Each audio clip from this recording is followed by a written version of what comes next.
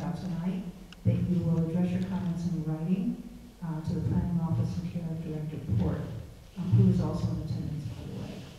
Um, So that's kind of open whether or not we'll take public comment tonight. Um, I think uh, we're going to, we're going to try to organize ourselves around topics. Uh, We have a list of them, and we'll go through them one at a time.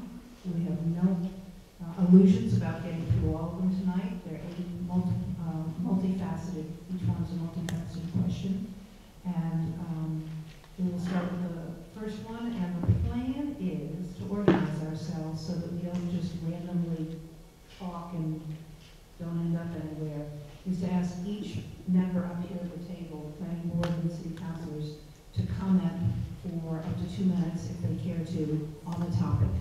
When we've gone through everybody, we will then come back and have an open discussion um, and try to come to some conclusion with the information we have with us tonight um, as to where we stand on the issue before we move on to the next one.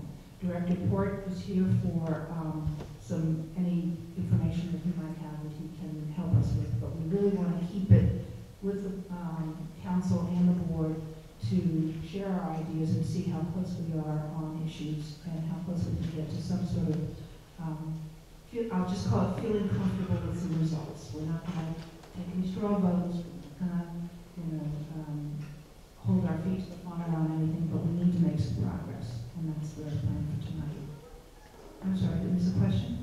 Uh, From a point of procedure, there were some people here who were not available last week, since this is a important proposal that's come across the city of Newburyport, yes, in a decade or two.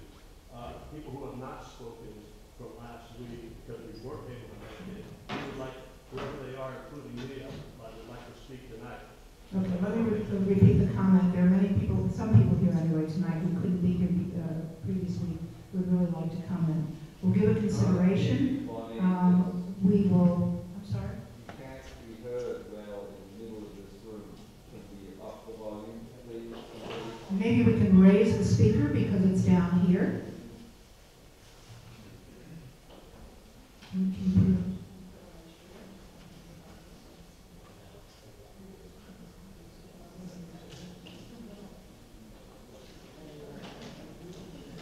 Is that any better? All right. I mean, your feet weren't transmitting the information to your ears, I'm so sorry about that. But thank you for that. Okay, so we will give consideration to um, having public comment tonight. I can tell you right now, this will not be the last public hearing. So um, if, if you want to move down closer, it might also help uh, for you to be able to hear. All right, we're going to begin with the first uh, topic, which is height, density, massing, and resiliency for sea level rise and flood hazard mitigation. It is the big question that we keep going around and around on. Um, and if we can come to some understanding on the, those, those connected issues, we believe that we can then make better decisions about the other issues that are open. So we're going to start by passing the uh, microphone down. Um, We'll start this one on the planning board side, and we'll start the next one on the city councilor side.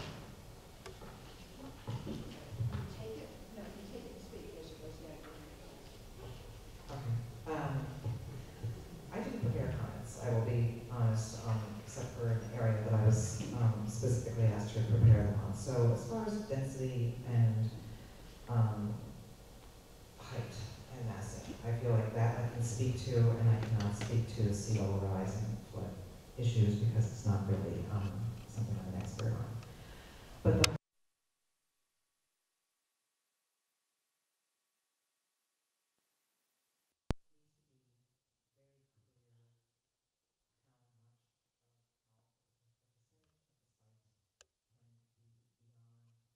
the um, 35-foot height restriction that exists now. And the idea is to give NED um, some leverage here, but I feel strongly that we do not allow too much height beyond the 35-foot.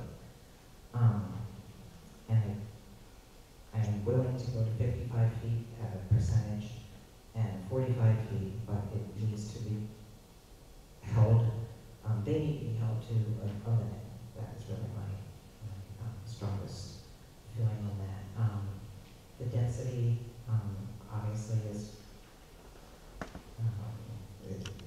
comes and follows that. Um, the massing, I feel, um, the issue of the step backs from the third floor up is the most important part of the massing, so we do not get the canyon effect of walking through five-story buildings. Um, so I think that's really what I have to say on that. Uh, Thank you.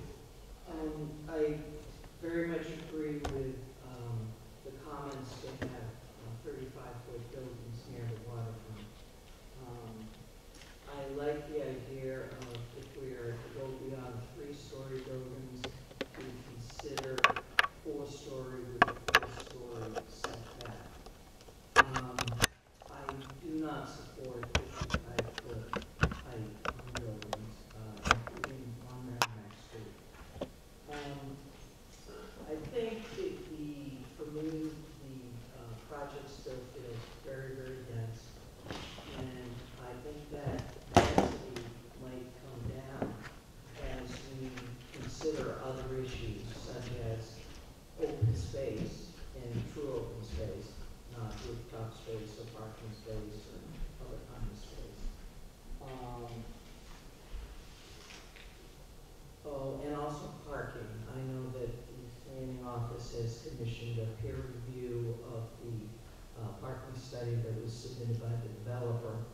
Uh, I'm still not sure that the proposal that's been put forth has sufficient parking on site for either residents or certainly the uh, retail proposed. Um, I guess I certainly would defer to other members of the planning board regarding um, resiliency issues. Um, And maybe my colleague Rick Taintor, who's one of them, and uh, he'll be next. Thank you. This is actually uh, where I most of my time. I actually have very specific recommendations here. Uh, It's important, I think, to incorporate sea level rise and future flooding scenarios. Uh, And that means pushing the floors of the building up from the the levels that are currently proposed at, or the zoning currently proposes to. And also to maintain the building height and the scale that relates to the downtown waterfront. So it's pushing up from the bottom and pushing down from the top. Uh, For building and site design, I think that the zoning has to specify both vertical separation from future flood levels and horizontal separation from the river to mitigate wave damage. Um, So I think that this should assume project life of hundred years because similarly with buildings that last a long time, so it shouldn't be designed just for thirty or fifty years. Uh, My proposal is to uh, make the minimum elevation of the first floor six feet above the current uh, FEMA base flood elevation. So right now, the zoning proposes two feet above the base elevation, feet, really accounts for four or five feet of of sea level rise. Um, Various studies have projected six feet of sea- level rise in the next hundred years, including a land use study from the University of New Hampshire, uh, Seacoast, New Hampshire, and also um, the Resiliency Committee back in February also recommended six feet. So that's what I I think we should be at. So right now, just to put it in perspective, area of the uh, site that is near the river right now is that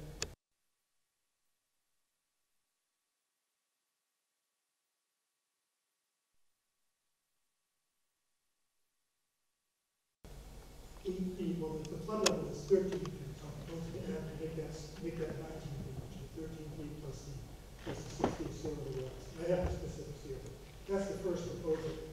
I also propose that buildings be set back 150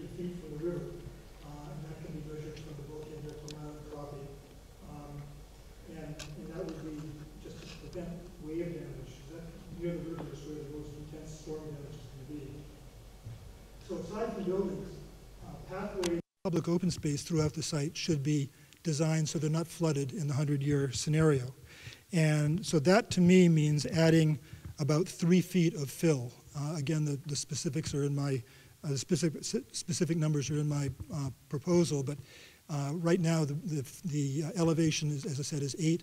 We'd be raising it to elevation 11. Um, we have to figure out how the, uh, the flood, right now there's a flood, what's called a flood mitigation study, and all it talks about really is moving cars and, and sheltering in place. And I think there needs to be a more forward-looking analysis that projects the site conditions at the mean high water with six feet of of sea level rise. Um, Right now, the fourth item is building height, and the- right now, the, in the zone, the way the zoning is written, there are two, two or three major loopholes in the, uh, in the zoning. One uh, adds to the building height the, the flood level, so it adds um, three to five feet to the flood level. So a 45-foot building is really a 48 to 50-foot building.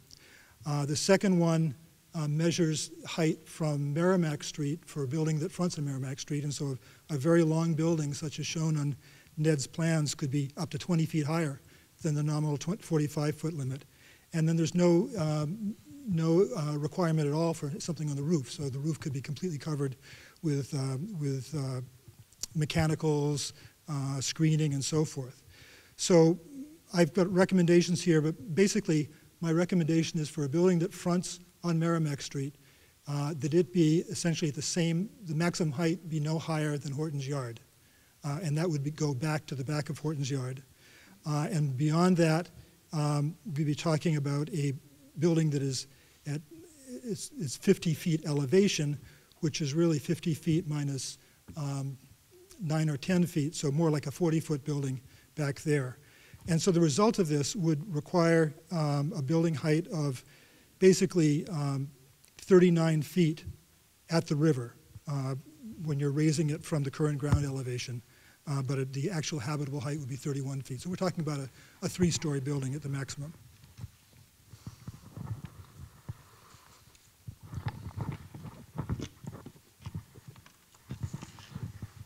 So I agree with a lot of what Rick had to say. Um, I do think that 55 feet is too high. Um, and I agree with Rick that there are too many exceptions and adjustments to the building height. Um, and that it allows for the actual buildings to be much higher than what one would think reading um, the ordinance. Um, so I would think a 45-foot max, um, and that there should be fewer adjustments or no adjustments. Um, You know, utilities on the roof, if they're over a certain size, should be included. Um, I think it may be preferable to base the building heights on a standard elevation um, or a top-to-bottom measurement uh, rather than including things like the FEMA separations as an offset. Uh, I think it would be more straightforward. Um, I think that from the model that we have, it's, um, or the renderings that we have, it is hard to tell from the model whether the, what the relative building heights will look like. Um, I'm not sure if they're to scale. Some of them, the 55-foot at Merrimack Street looks like the same height as Horton's Yard, which I think is quite a bit um, shorter. Uh, As far as density, I do think that it is too dense at this point. Um, I don't think that the proposal really replicates the density and the massing of the historic downtown. I feel like it looks a lot more dense, um, and it, I'm afraid that the buildings are gonna look like high-rises and that the walkways are gonna be um, these narrow alleys. Uh, I think there should be some maximum building coverage, other um, sorts of constraints on the density put into the zoning. Uh, From, if it is non-discretionary, and I think that's to be talked about later, but right now I feel like there is a lot of flexibility um, to change a proposal up. um, And so I think we need to put more in the actual ordinance. Uh, And then with respect to sea level rise, in my mind, um, this is the most important issue for a development um, located in the waterfront west. Uh, I would propose that we add an item on the purposes about promoting sustainable development principles uh, and incorporating storm resiliency and adaptation. Uh, I think that we need to be looking, like Rick said, at a 75 to 100-year range um, for life of the buildings and the project. Um, So I also would think that a six foot above um, the FEMA base flood elevation is something we should incorporate. Um, And I do think it should be occupied floors, not residential. Uh, I think, you know, having the commercial space and the retail space flood is not going to be good for the city. Uh, I agree with Rick that the buildings that are now proposed closest to the water should be set further inland. Uh, I think we should make sure we're incorporating the most up-to-date standards as far as building codes and utilities in the floodplain.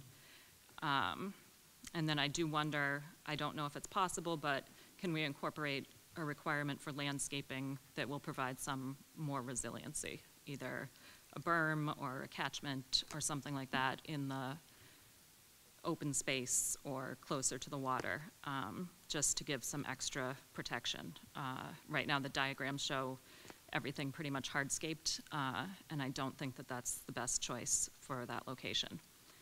Uh, And I agree that, with some of the comments that I read, that there should be some thought about parking um, if and when the parking that they're providing on site becomes unusable. Thoughts.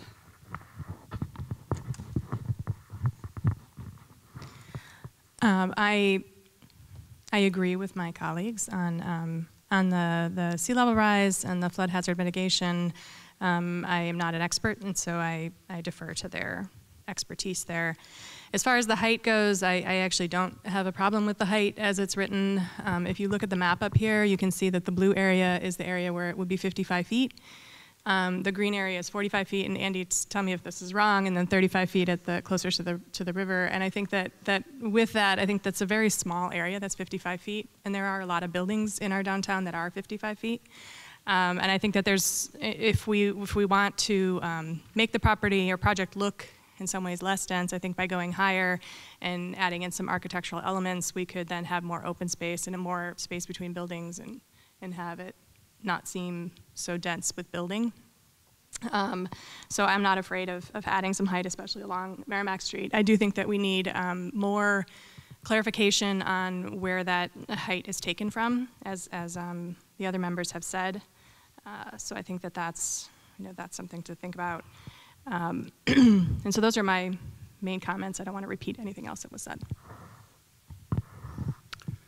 Uh, I think my comments are more that the uh, original Waterfront West Overlay District um, captured the concerns, at least that I heard, raised by the public comments over the past two years. So um, that type of density is more along the lines that um, I'm looking at. Um, I agree with uh, some of the height, allowing higher than the uh, 35 feet in areas to uh, add variation and make it interesting. But um, so that's my main comments on the density. I uh, want to thank Rick for bringing up the uh, uh, idea of adding fill to the area. That was something that was raised at the ad hoc committee, and um, uh, I also am very much in support of uh, the city um, being consistent with the various studies and documents that are published on the website regarding resiliency and sustainability, and that we actually uh, try to build this for the long range, uh, 100 years as well.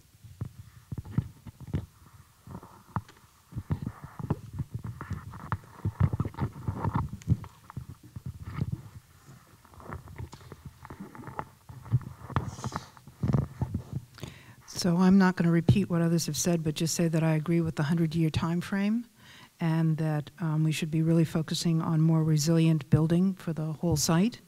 Um, I'm curious about the infill again, I mean infill, sorry, the fill, um, because I'm not an expert about this, but I do think the elevations, uh, considering the fluctuating, what will be over time fluctuating FEMA maps and levels um, of concern, um, can't allow, would not allow us to have an absolute um, base that we should put a number in. That in other words, it should the the building should be related to the changing conditions out there.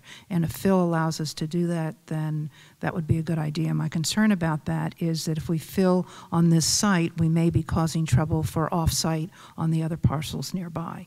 So if there's a way to um, mitigate uh, flow from this site to other sites, that should be considered.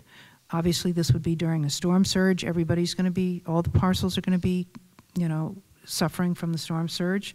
But certainly when it uh, recedes, there should, should not be um, additional um, problems on uh, other parcels, abutting parcels, because we've allowed fill here to raise the buildings. But that does speak to the point of um, having what was called a sacrificial level.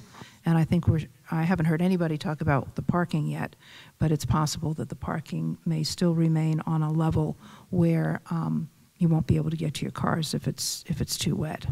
Um, And in that sense, there should be some sort of what's called wet flood proofing um, to allow the water to flow through the areas where um, parking is allowed.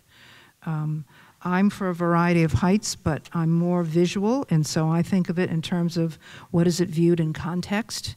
So without going, I don't know um, that I can say specific numbers, 55 or 45 or whatever it should be, but rather that the streetscape should be consistent with what's already there and moving toward the river, taking advantage of the slope to put more levels into those buildings where we might be able to get more um, density because the uh, topography allows for it. I'm going to leave it there. Uh, I'll start with sea level rise. That's where we started on the uh, ad hoc uh, last November. Um, I, I think we can all agree we want buildings to last at least 50 years. and That's that's really the minimum. Um, the question is, what do we expect uh, in the longer horizon? Of course, the longer you draw out the horizon of time, the harder it is to predict how much rise uh, in the sea there's going to be. Um, but I do want to note that we got comments from both the Resilience Committee, which is a committee of volunteers, and the conservation agent for the city uh, for the same six feet uh, above flood level, um, FEMA flood level that um, uh, Rick Taintor and many of the board members have suggested. So I think we should study that. I will tell you that at the ad hoc, the reason we did not go with that um, was um, uh, the residential floors will comply. That doesn't seem to be a problem at all. It was the uh, commercial space, and we were worried that um, because of the the need to have uh, floor to ceiling heights at a certain uh, amount, that it just wouldn't. The math didn't work. So I'm still unclear on that. But obviously, the policy is correct. You know, we if we really are expecting a six foot um, sea level rise, we got to plan for that.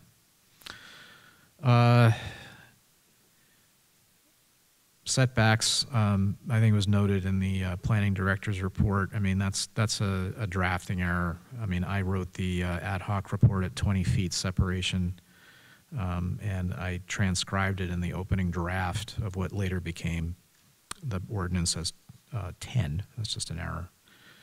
Um, the percentage of open space, I just want to caution people that uh, the existing waterfront west overlay district language really is not that great. Um, it says 33% uh, of essentially uh, open space, but then it defines open space to include things like public restrooms. So let's let's just sort of figure out a ground plane and then derive how we want to define the number. Uh, on heights, I mean, I'm not I'm not categorically opposed to to uh, buildings of 55 feet, but um, obviously the language in the in the draft uh, is is not what we envision at the ad hoc, and and it doesn't match the diagram either, as I think um, board member Harford pointed out, which is only the only really uh, building over 50 feet was was going to be the one next to Horton's yard. It would also be helpful to shoot a laser to the top of Horton's yard from the Merrimack side to know what that height is, because I, I guess I'm confused. Uh, on I'm almost done. On horizontal separation, I we that did come up. Um, Rick uh, Taintor did raise that at the ad hoc last year, and I, I, I, I still have not heard any real rationale for that. Um, why you would set all buildings back 150 feet? I mean, that kind of implies uh, a retreat from the waterfront for all of Newburyport that I just don't think is consistent. I think if they can build to a standard such as Boston is now requiring in their recent guidelines, it's okay to build um, near the water. You just have to design rigorous, uh, rigorously. It can be done. Um, adding fill, yeah, that did come up. Uh, James Brugger did did mention that and, and fought hard for that, and we raised that with the Conservation Commission, at least informally, and they really were adamant that they would never approve uh, fill on this site. Uh, Maybe they could change their mind, but I, I, I share the concern of, of Chair Sontag that all you do by adding fill is displace the water to the other sides. It's just nobody wins. It never ends. I, I would not recommend that. Um, uh, and then as far as you know, the word sacrificial is used, I mean, let's let's be honest. The the, the Peter Matthews boardwalk that we have is is going to flood. Uh, You know, so you know you have to you have to make decisions in land use. You, we cannot uh, raise up the entire city six feet. Um, so I, you know, I'm not as concerned about. I, I don't think it's appropriate to require all the open spaces to be jacked up six feet in the air. Yes, they'll flood. You know, St. Mark's Square in Venice floods. Um, one thing I want to mention because he's not on the board anymore is Rishi Nandi, a former member. He was really uh, pushing for a wake, uh, sorry, a wave attenuator, um, and that would be a way to to mitigate um, the storm surge and and storm action. Um, so I, I don't want to forget to mention that. Thanks. Sure. Um, just a couple of quick thoughts on here. It uh, was nice uh, in the first meeting that we had to hear from the public, and I got a lot of good notes and thoughts from folks that came to that, and I appreciate that. And now we have a chance to listen to the planning board and get their perspective on that. So, gaining more notes, putting this all together, but. Um, you know, pretty much what I've got out of this so far, and, it, and I think it, it is aligns to what I've read and what I've seen is um, we have a height problem. It is definitely too high. Um, the public made a comment, uh, someone in the public made a comment about it being like cavernous in between the buildings, and I would certainly agree that, that that's what would happen here. Uh, I'm not 100% sure if we've seen a 3D view, but I, I know that that's continuously asked for to see what this would would look like um, from a vision of somebody on the street level. So um, we hope to see that soon. Um, the density is obviously um, it is too dense, and I think that's that's bothering a lot of folks in the in the public. We keep hearing that. Um, Bonnie mentioned parking issues. Nobody's nobody's took a stab at it yet, but um, you know, when you start to do the parking numbers here and add them all up, you can see that they, they don't uh, they don't add up. And just one of my personal thoughts on this, and I'll just throw it out there because it really has nothing to do with what's on this list. Is you know, what do you really want to see on this site?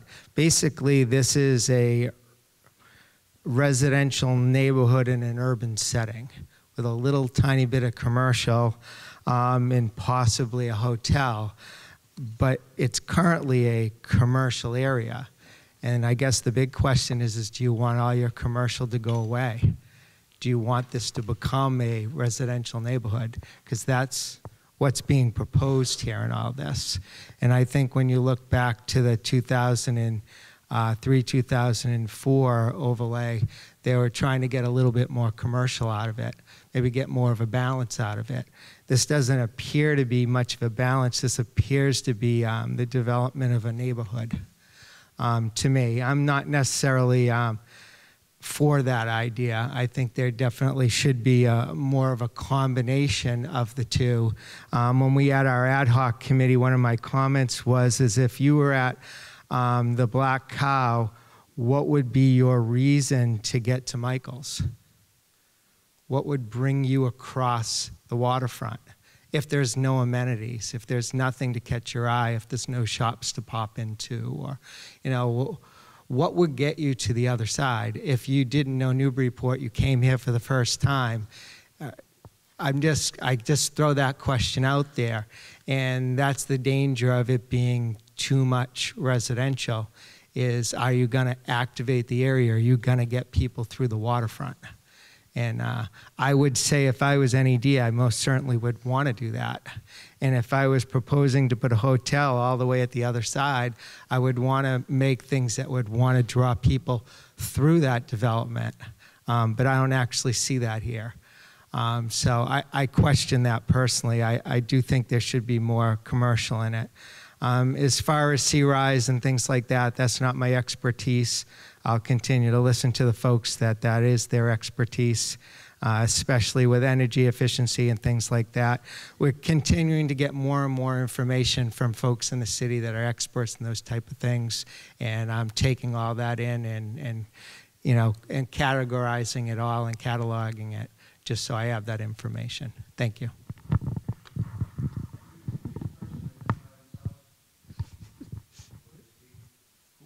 Are you? Who, who am I?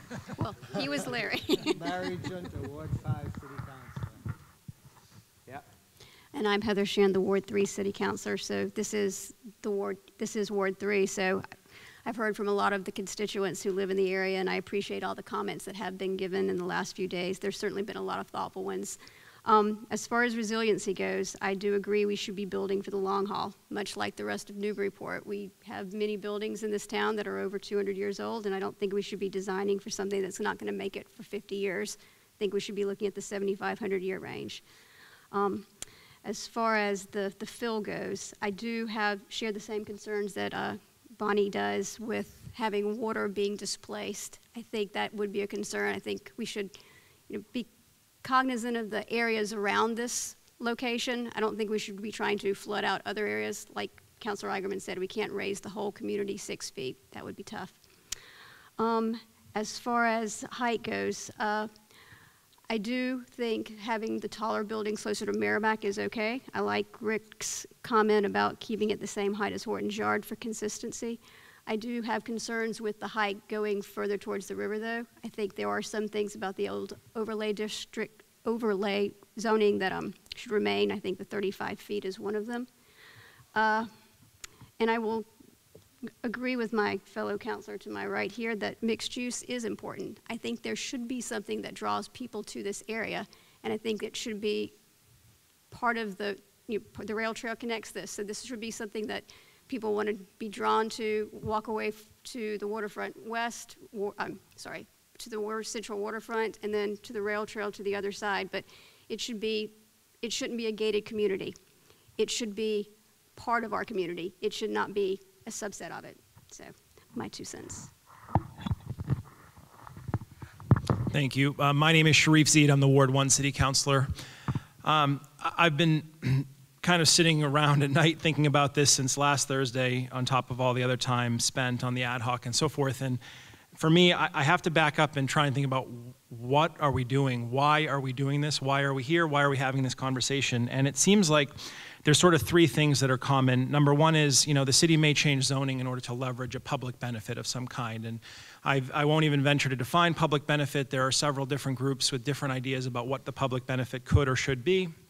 They range from um, everything you can think of traffic improvements, public infrastructure improvements, um, just the value of developing the site. For some, it's a hotel. There's all kinds of public benefits. The second one is that the city may be able to get some additional control over the development by sort of making a deal. So, in other words, we will change the zoning, but in exchange, for example, we will ask for this master development plan. And the third one may be that, you know, there may be some that think the zoning is inherently unfair or unreasonable, whomever the landowner is. Those are the three things I've been hearing from different people.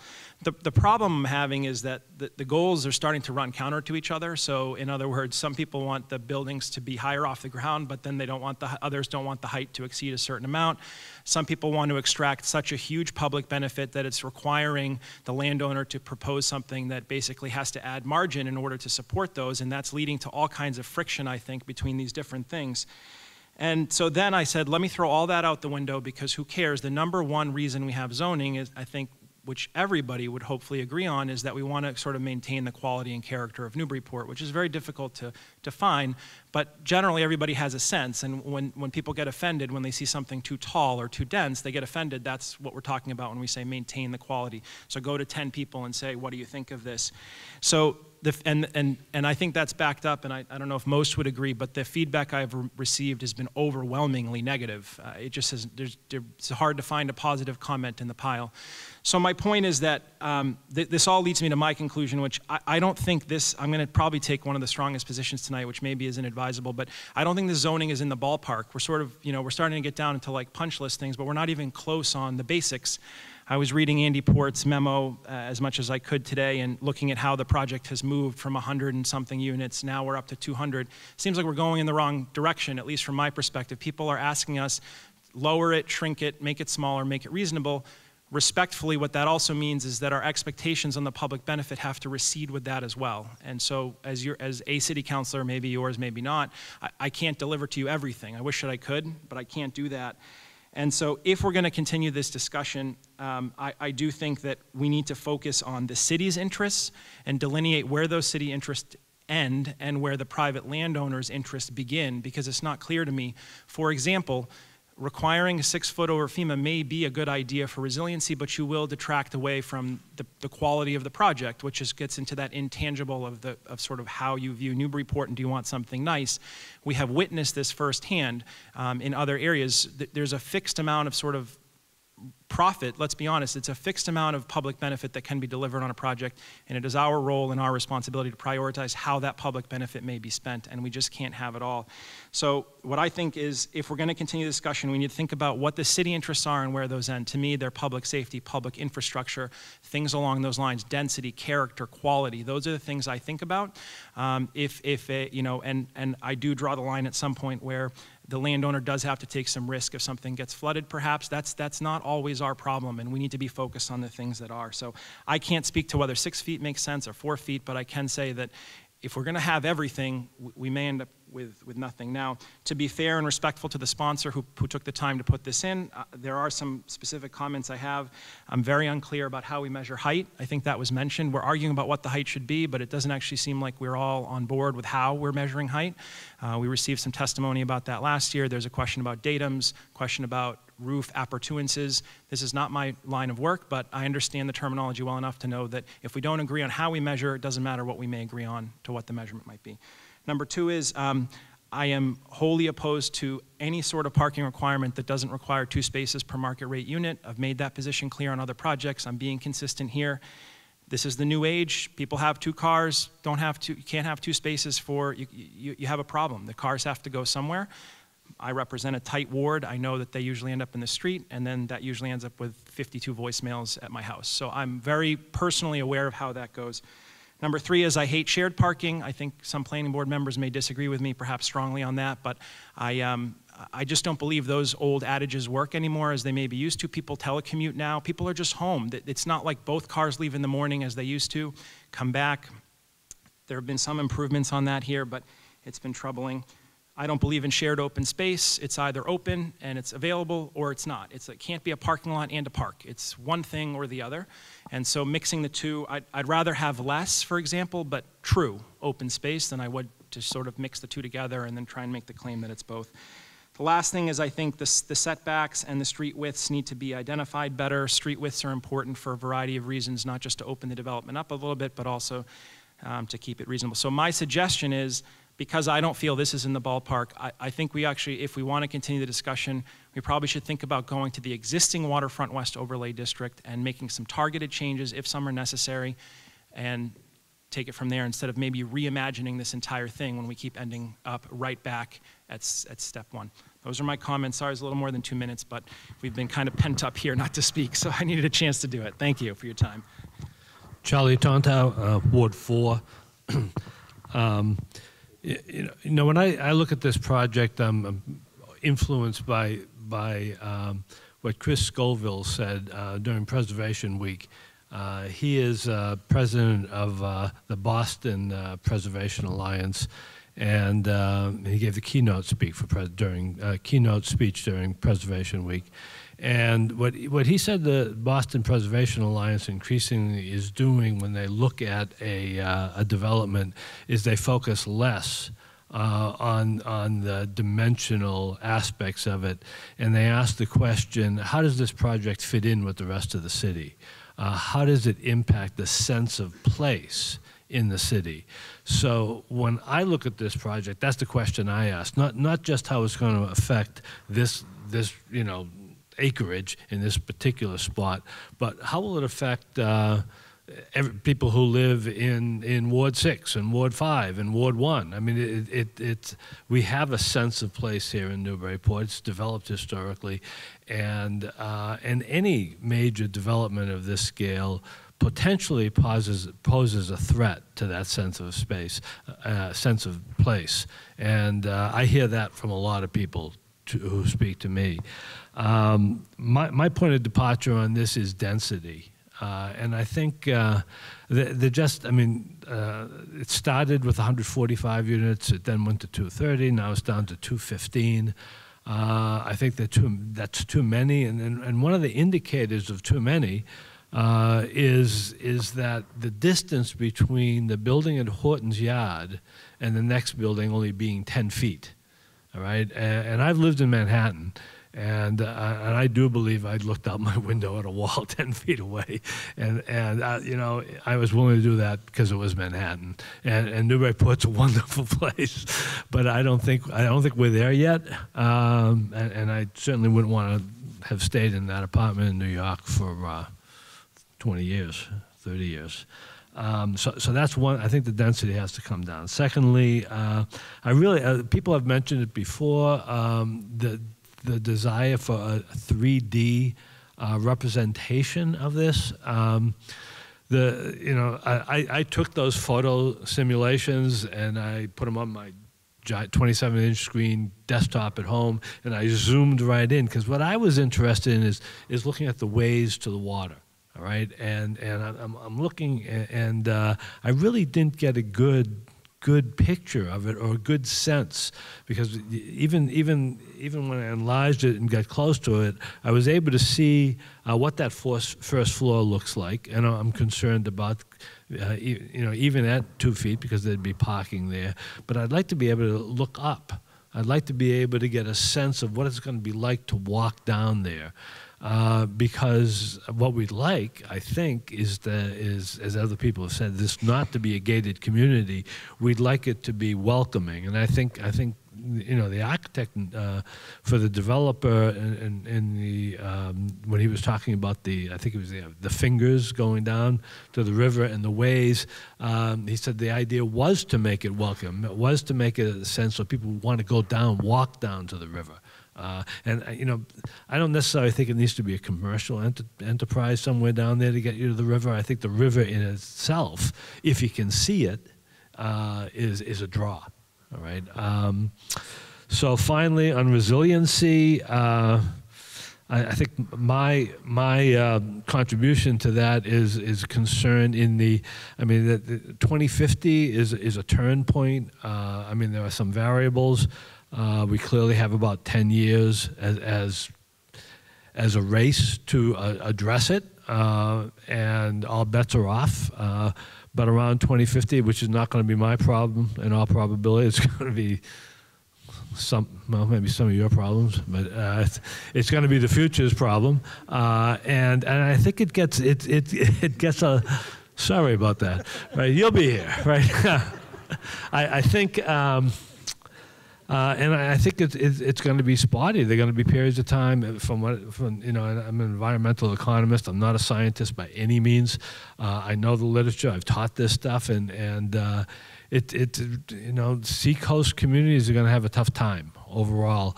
And my concern is that whatever is built there, that it not add to the difficulty. I think this community made a mistake when uh, we did not move the wastewater treatment plant. We have it right on the river. When that decision was made, we probably should have put it someplace else. Uh, resiliency and responding to it wasn't wasn't high on the priorities, but I think now that we know a lot more, uh, it should be a higher priority. The new councilor. Thank you, Chibukali, uh, Councilor at Large. Uh, I want to uh, thank the number of people who took time uh, to send me a note uh, and um, share their thoughts and opinions. I truly appreciate it. Um, now that I'm sitting on this side of the table, um, people talk at me as opposed to um, sometimes talking with me when I sat on that side of the table. Um, but uh, I, I too am going to continue a trend here that I'm not going to talk about the dimensional aspects of things because there's people who do this for a living and are uh, much more versed in this. Um, but I am going to talk about density, and it's what I'm hearing loud and clear from uh, uh, people who have taken the time to talk to me about it. I'm talking about people density. And that is one of the driving factors on all of this discussion. There's too many people. Uh, if you take the people out, then the parking solves itself. If you take, the, if you reduce the people, then the heights get less, and the buildings can be uh, more comfortable in our neighborhood. Um, a, a, quick, um, unscientific, I will admit, a study says that the um, the bedroom count uh, in this new um, proposal is the equivalent of taking um, the population of Federal Street on both sides and a portion of Lime Street on one side and compressing it into two square acres. And that has incredible amount of pressure on the quality of life um, that is that we've all been talking about, right? We're not talking. I, I, don't. I don't care how tall the buildings are if there's too many people in there, right? That that's kind of what I'm hearing. So it it impacts parking, it impacts traffic, it impacts water and sewer, it impacts uh, restaurants, it impacts any commercial activity, it impacts every single thing we do. And so I'm just adding my perspective based upon what people have said, um, and I would uh, support um, uh, uh, the recommendations that we look at the original and build up from that as opposed to trying to hit a moving target. Um, we're trying to help the developer hit their sweet spot. They're trying to hit their sweet spot. Um, everybody's hitting the optimize button, and we don't necessarily, as residents, get the benefit of that. Doubt. Thank you. Thanks, Jim. Uh, my name is Barry Connell. I'm councilor at large and uh, currently serving as president of the council. And um, my fingerprints are on this because uh, my name is on it. Um, first, I want to respond to something um, Councillor Tontar said uh, about his own mortality. I don't know about you. I plan on living forever. I have no intention of dying before this is done. Uh, on the other hand, I probably won't have uh, much to say about that. Um, it's just going to happen. Uh, I do want to say something uh, about the original um, zoning overlay that we placed here in, uh, was it 2004? Um, I, I believe I'm the only councilor sitting now, at least at this table, who was here to vote for that. And there were really four elements of it based on our vision at that time. Um, let's remind ourselves. One was that the footprint that could be developed be no more dense than the rest of the commercial downtown area. Um, second, that all buildings be publicly accessible at the ground level, and that there be a commitment toward open space or public access, publicly used spaces on the site that was consistent with what we've come to expect on our central waterfront and on the aprons to both sides and, and sometimes back into the community itself. Uh, think about Market Square and the Inn Street Mall. There are public spaces there, and we like that, and we're used to that. Third was that we anticipated all parking would be contained on the site. We didn't want satellite parking. We weren't going to build a parking garage for anyone. We weren't going to give someone access to our parking garage in order to make the parking uh, requirements uh, on site work for them. And that remains, I believe. And fourth, uh, we were going to lean heavily upon the planning board, which has considerable expertise in this area, that the, that the visual characteristics of a development here have to be consonant with what we expect Newburyport to be. And that's a very subjective thing.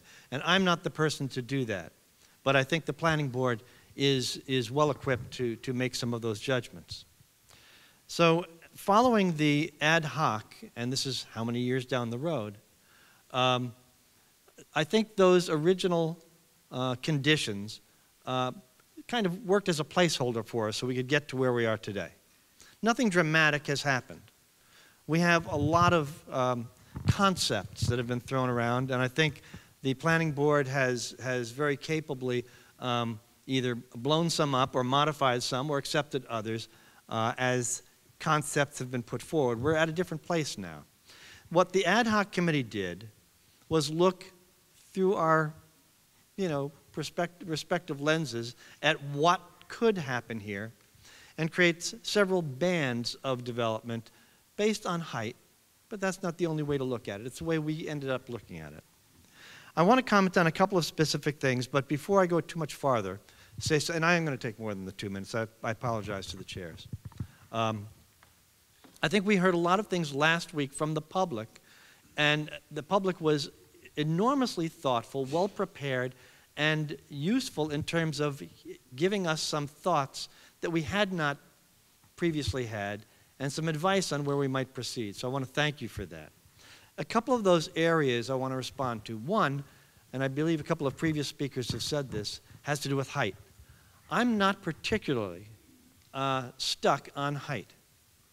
Uh, I don't think that 55 feet is extreme. There are other structures in the city that meet that height standard.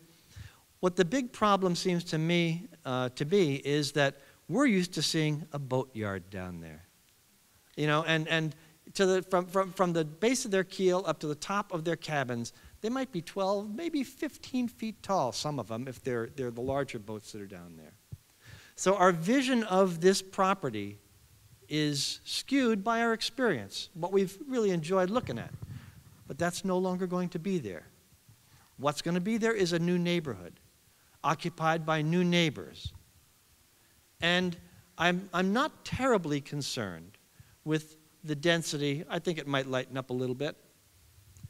Because I think this being a new neighborhood in a small city, there will be people who want something of an urban experience, a little more urban than we have in the outlying neighborhoods. We'll be attracting new people, different people, perhaps people who are moving out of single family residence who want to move in a more densely occupied area with a different, a somewhat different feel to it, where they don't have to mow a lawn, they don't have to shovel the sidewalk. I guess that includes me. Not that I want to move right now. I don't. So um, I think we have to open ourselves up to the possibility of change. It is going to be a change. None of us is going to get exactly what we want. Uh, but I'd like us to be open to the possibility of change. There are a couple of other items I wanted to address here. Uh, the resiliency. I think that uh, serving on the resiliency committee, um, the six foot recommendation that, that uh, Rick Taintor has spoken of uh, is well advised. Um, I, I, do think that that is something that we should, we should adopt. Um, I thank Councillor Eigerman for pointing out the error in the calculations or in the, in the presentation about setback, uh, particularly from Horton's Yard. 10 feet is way too close, and I don't believe that that's what our ordinance currently, uh, nor in the future, would, would um, permit. Um, that having been said, um, we want to maintain the feel of Newburyport. There's an awful lot that has to take place for these developments, as we understand them, to conform to what we feel, what we value in our city. And, and I hope that we'll all keep open minds as we move forward. As um, Chair Sontag said, uh, we have a long way to go. This isn't the last night. Thank you. Uh, Joe Devlin, I'm a councilor at large. I also served on the ad hoc uh, committee. So we spent 10, 12, maybe 15 plus hours talking about this. Um, I, I I'm I'm in the same place that Councilor Zeid is in. This isn't in the ballpark to me. I was actually debating whether I was going to come tonight because I I'm almost feeling like this is a waste of time for me to talk about because it doesn't have my vote in in its in its uh, present um, state. It's I'm going to speak on number one, which is I think how we're doing this right. We're going to go down through these, but uh, it's too high, it's too dense, uh, and there's too much mass. Um, that also correlates with just about every person who I've spoken to or who has emailed me and I've had email correspondence with, or those people who have come here and spoken in public comment. Um, and I, I, will say the last time, the last uh, meeting's public comment was probably the best public comment I've heard since I've been a councilor. Um, the Lamberts, in particular, I think I've heard them speak on this subject like 800 times. And they came up with something new uh, uh, that, that I, you know, that again, I said, gee, that's a good, these are people that are thinking about this. They, they have a vested interest in it, but they're thinking about it in a reasonable, rational way. Um, and I would say that that should be one of our priorities here. We do have residents here, and this project greatly impacts those residents, and we should do everything we can because they were here first. Um, let me say a little bit about the ad hoc on the uh, height, density, and massing. I don't think we came to the conclusion that we would have these uniform bands of height. I do think we came to the conclusion that that the uh, Merrimack Street could support higher buildings because of the grade. Um, what we were talking about is different viewpoints in the city, and I think what it rested down for some of us, or came down to for some of us, is there are benefits to having an agreement with one developer to do all of this. You can get some benefits out of it.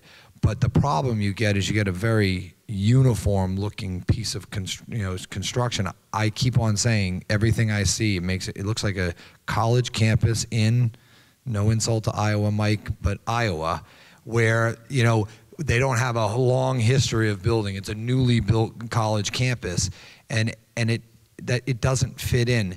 We did talk in the uh, ad hoc. That's what we started out doing. Was talking about the 2004 master plan, and we did decide. I, I don't think the intention nor anybody wants a replica replica of State Street because that's from a very distinctive period of time. You know, it's you know 1830s frozen in time. We don't necessarily need the design to be the same, but I think a bunch of us said it needs to look organic and and it needs to, I, I think the bands of height are a bad idea because you know you if you have some some buildings that are uh, lower on Merrimack and then you could see through the city that's what we like about walking down Water Street for instance. There's a bunch of streets in the way uh, buildings in the way then suddenly you come out to an open space and you can see the river and it's cool. It's like it's like discovering a, a secret place. So I just think there are things that we could, the, the, if the zoning could do to make it more organic looking and less blocky buildings, and the heights vary within these bands with an idea of where viewpoints are traditionally. So, for instance, the rail trail off to the left of this, you got a viewpoint down, down, down the, the, the harbor. You know, you might want to have some build a building swath there that's a little bit lower. Um, one other thing that you know, borrowing from the because we did talk about this at the ad hoc, borrowing from you know the where the um, uh, buildings would be separated from the 2004 plan. There there was more building separation, and it was it looked more like a city, one of our city neighborhoods, which this does not. But it also had a nice. It called, they called it Wharf Street along the water. So I, I don't know if I agree with the 150 foot setback and that there's no buildings. Um, you know, there is a state law that says you have to have some things on the waterfront for the public to enjoy. Um, but, but certainly, you know, some mixture of that. On the resiliency issue, I will say, just remember, and I really don't care about this top, like, I'm not going to fight for this topic, but it's 13 feet is what, or 12 and a half feet is what the built where the residential would start now, and what they're talking about is adding six feet to that, and and that's you know. Uh, Rick Taintor did bring a, a map to us of a proposed flooding at, at a certain sea level rise no one's going to be living down there. It it lapped over Merrimack Street, you know, and, and was you know at, at places was was touching you know across Merrimack Street under the Route One bridge. So no one's we're not going to be able to use Merrimack Street anymore if that happens. So I think that was our understanding was, look, yes, it's a problem and it's it, you know, but it becomes the developer's problem and it becomes the people buying this. There's some risk in buying on the waterfront. I'm not going to fall on my sword on that because I've already said I don't. I don't think this is this is in the ballpark of something that I even want to spend a lot of time trying to tweak. I don't think we're in the tweak phase. We're in the we need some uh, massive overhaul. One last thing. Um, we had talked about early, early on in my term as a city councilor about getting somebody, an expert, to tell us what the economic benefit that New England development would get out of this project. Because right now, it's like herding cats. That's why we're going from, you know, certain numbers to certain numbers. We don't know what their tipping point is. You know, we've been we've been told that well, we're going, you know, this could just be a 40B, but we don't know what the the the tipping point is where they say we've had enough, we're going. So we don't know what economic benefits we can ask for as a city. So I would suggest that that's one of the things. And, and I would also suggest one last thing.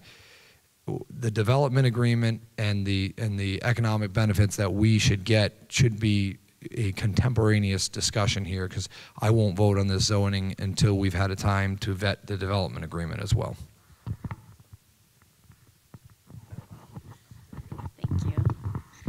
I guess I'm the caboose of this long train. Uh, my name's Afroz Khan. I'm a uh, city councilor at large, and I was also part of the ad hoc um, waterfront discussion, uh, waterfront west discussion last year as well. I don't want to go on and belabor a lot of the points. I think that's the problem when you're last. Is I agree with a lot of what was said by the councilor from Ward One, um, and in general having been on the ad hoc, and I know having a conclusive document didn't mean we all um, came to the same place. Uh, we, we had to come up with something at the end of the conversations, but a lot of us had to, uh, we moved on and voted and may not have gotten everything we wanted. And I think still, as a result, you still hear a lot of issues here that we're bringing up again. And in terms of this list, I'll echo again the sense, uh, I guess most of it is one. I, I can't go past item one on height, density, uh, massing, resiliency for sea level rise, which does mean a lot to me, and I mentioned quite a bit um, during the ad hoc. Um, I, I, was one of the advocates that didn't, that was very much in favor of having 150 feet or more away from the, the river and the, the waterfront. Um, that wasn't popular, but I, I, still firmly believe, you know, if you look at this picture and the boat slips, you know, we didn't talk much about the port aspect of Newburyport, which is really a, a piece we would lose. And so um, I am eager to get the conversation going. I'm not going to belabor, but a lot of things that were said, I, I completely agree and would like to kind of move on on how we're going to make this work. Thank you.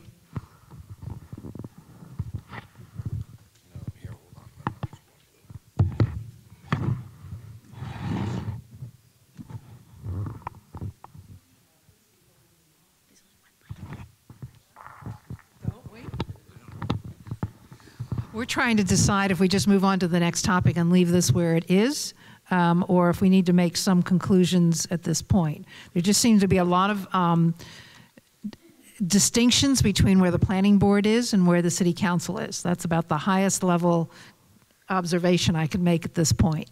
Um, I don't know how we're going to take this forward. Um, Andy wanted uh, a little more help in considerations for where the um, next revision of this ordinance would go. But I think we're going to have to mull over all the notes we've taken and what we've heard from people, and it might be better if we cover more of the topics at this point. Looks like there's energy to do that. Am I reading everybody right to go on to the next topic? Okay, we will start with City Council, and the last shall be first. And this topic has been um, uh, has not been um, alluded to yet, so we're going to jump to some different way of thinking um, from what we've been talking about because we thought it was really important to look at the zoning and permitting and the relative or distinct roles between the city council and the planning board. Um, who and how do they participate in the approval of the master development plan and the site plan review? Um, what is the agreement, the timing and content of the uh, development agreement that has been referred to, uh, but nobody has um, come up with any uh, information for us about when we're going to see any of it. And um, issues around the possibility of appeal, phasing, major and minor, and um, planning board review versus planning office. I know this sounds um, administrative, but we're talking about a zoning change here. And a big piece of the zoning that helps to regulate what gets built anywhere has to do with the procedures and processes that we use to make that happen. And if there are if that's not clear, then we'll be tripping over each other. And this zoning, as it's written right now, is very unclear. And that's why we wanted to have comments on these topics right now. So we'll pass the mic back down to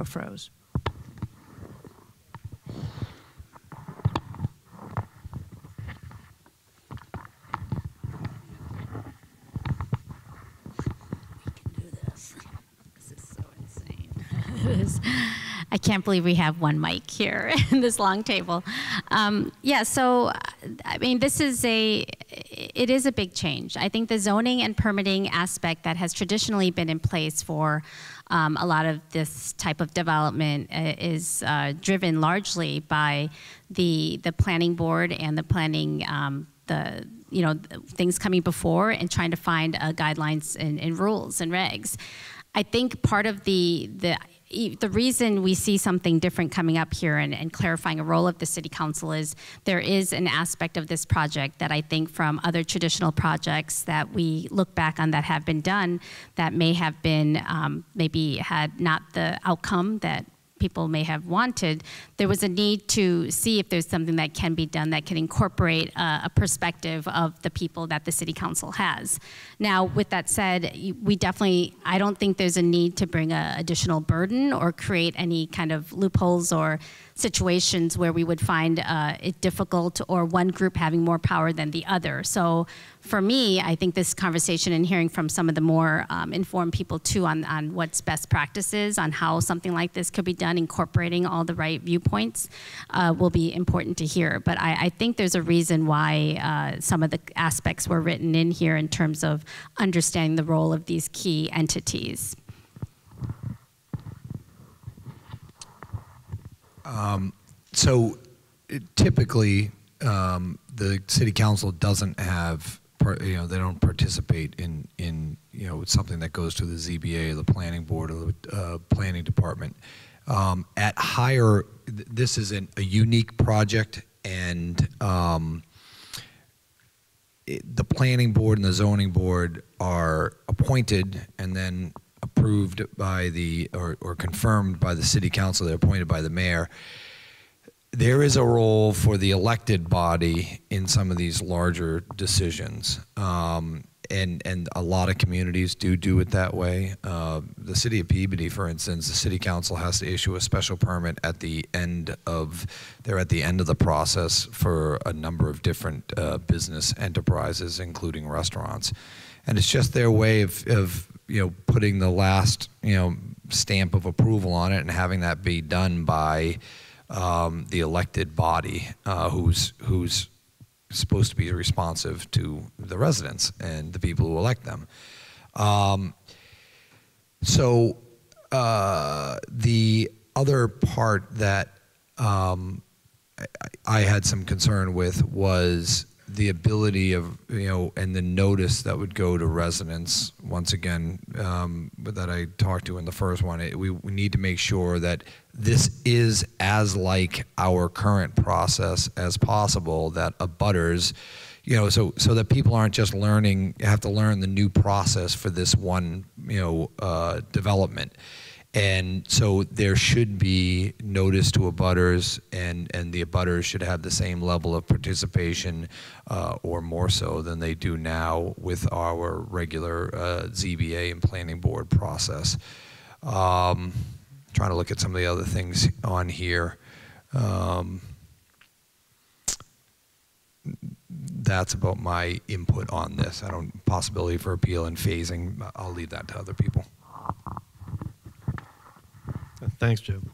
I, I think that uh, overall, uh, there, there, there are two things that I'd like to say. One is that um, I think because of the uh, potential to, um, to change in a rather dramatic way um, the way in which our downtown appears and, and the way it lives, um, the way uh, we relate to it, um, that the responsibility for much of the permitting should rest with uh, a group of elected individuals, and that would be the city council.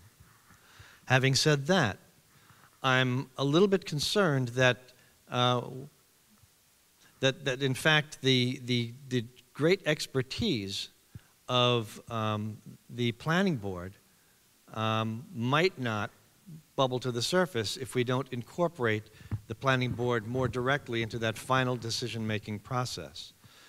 Um, I think in the past, when we have uh, made a change to our zoning, uh, we've, we've followed an orderly manner, and that's what we're doing now, and that is we have a zoning proposal before us. The planning board and the city council talk about it together. Uh, the planning board makes a recommendation, and then the city council uh, acts on that recommendation um, before a final ordinance is passed, which of course then has to be signed because it's a law by our mayor. Um, there are dif- different permutations there. If the mayor doesn't like it, the mayor can, uh, can reject it, uh, send it back to us, and it would take a two-thirds majority to override uh, the mayor's objections.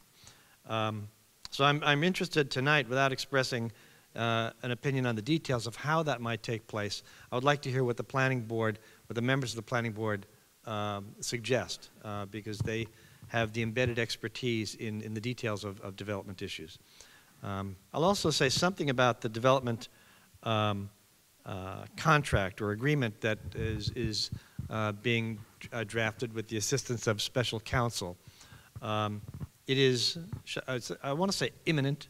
Uh, I can't say tomorrow, this week, next week, but certainly within a couple of weeks' time, we will have some clarity on some of the external benefits that are not part of the development itself per se. There are certain things, mitigation measures that the developer, should something go forward, um, is responsible for. If there are upgrades to water and sewer service to that area, the developer will have to do that.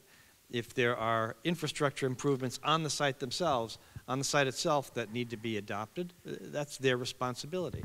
Um, they have to uh, respond to some of the constraints of, of uh, traffic and circulation, both uh, vehicular and, and pedestrian on site. That's their responsibility. Um, but then there are some other things that people would like to see done. We'd like to see some changes to the base of the Gillis Bridge.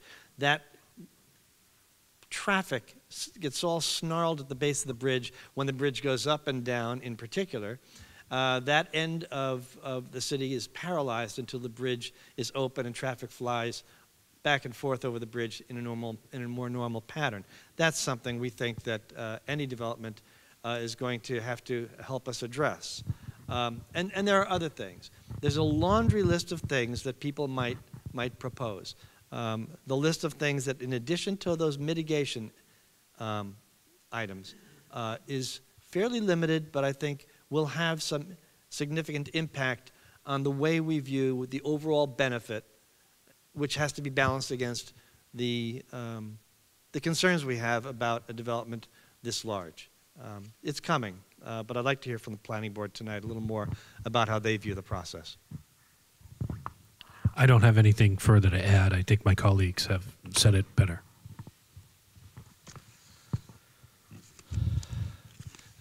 Yeah, I'm, I'm going to reiterate um, that um, I do recognize the um, expertise that we have in the planning board.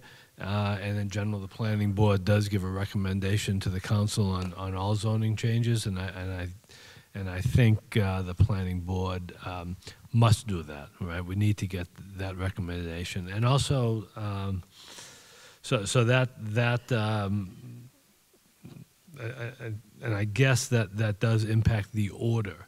All right, so the planning board would act first, and then or simultaneous to the planning and development committee, as is the case. Um, the uh, I, I think in this topic we're also uh, talking about uh, whether we're going to uh, have a master development plan uh, versus uh, a special permit uh, process, or whether we would actually have both. I guess is still under consideration. Um, uh, you know, I, I see the attraction of a master development plan, but um, in, that it that it would allow us uh, to have, as as a community, more control over the overall um, look of the project. Uh, I am concerned, however, that that um, we would lose some that, through the the planning board would lose some control over the details what that does, if we do have a do approve a master development plan, it means that we really, really have to get it right. uh, and and um, if we're not going to also have special per, uh, permits allowed.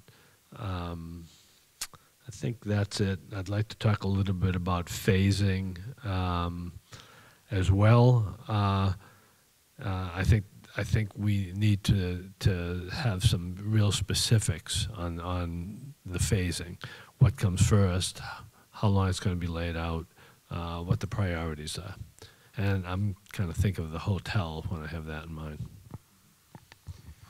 Um, thank you. To keep it as brief as possible, in general, philosophically, I generally don't see a role for the council in permitting projects. I think we have a planning board, we have a zoning board, we have processes.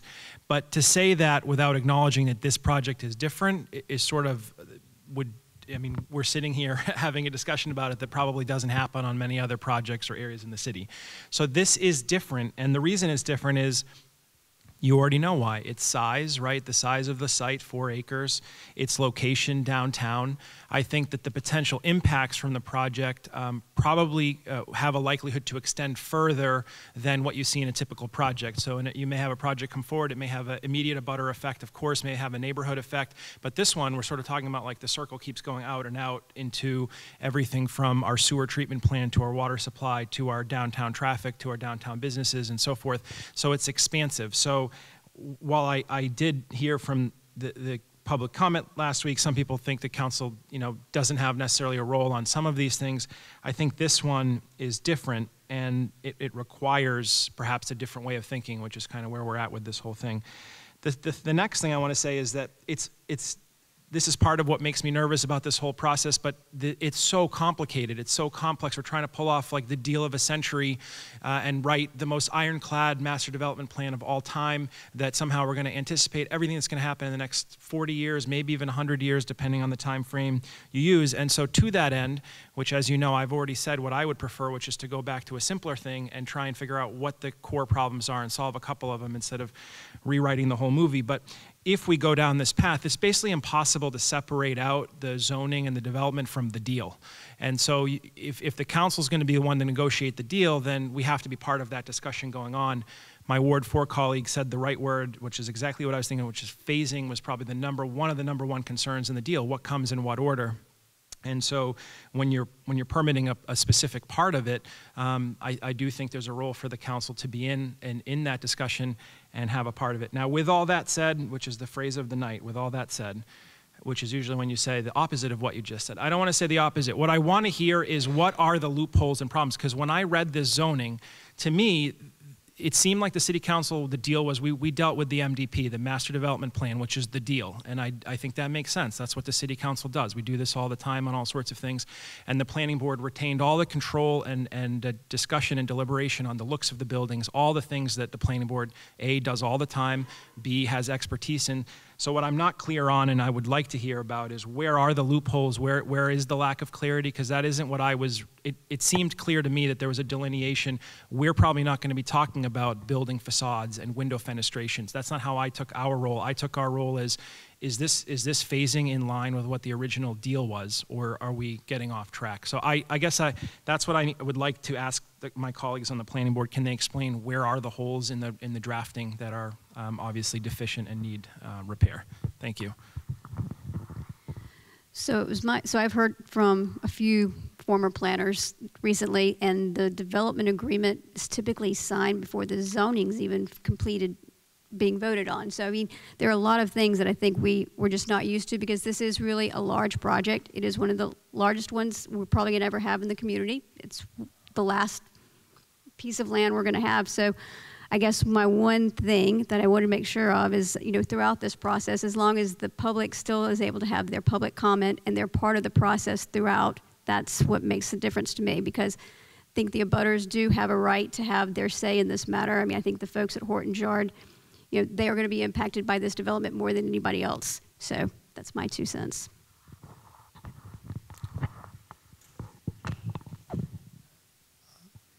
So I think, I think one of the things that, that needs to be said is just to sort of back up a little bit so people understand. There, there is currently a zoning in, in that area right now. And if NED wanted to build within the current zoning, then we all wouldn't be sitting here. um, they be dealing with the planning board and moving forward with some type of a project. But this zoning has to do directly with what's on the pictures in front of me and on the screen behind me, I believe. And the idea is, is once you need to change zoning, you've now put the city council in motion because that's what we do. And we put now the residents are now all involved because we represent you. So the people of Ward 5 are now involved with this um, because I represent them. And that's how this is all working.